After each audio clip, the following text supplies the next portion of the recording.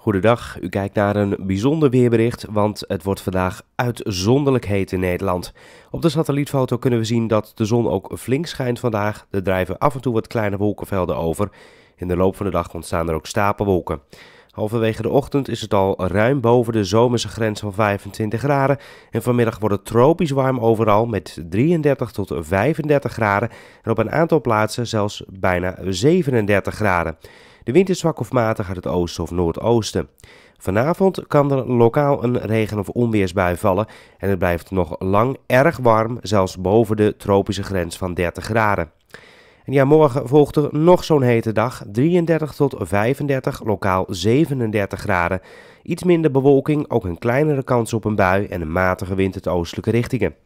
De hitte die wordt op zaterdag verdreven met een aantal regen- en onweersbuien. Het wordt dan 23 graden in het noordwesten tot nog lokaal 30 graden aan de oostgrens.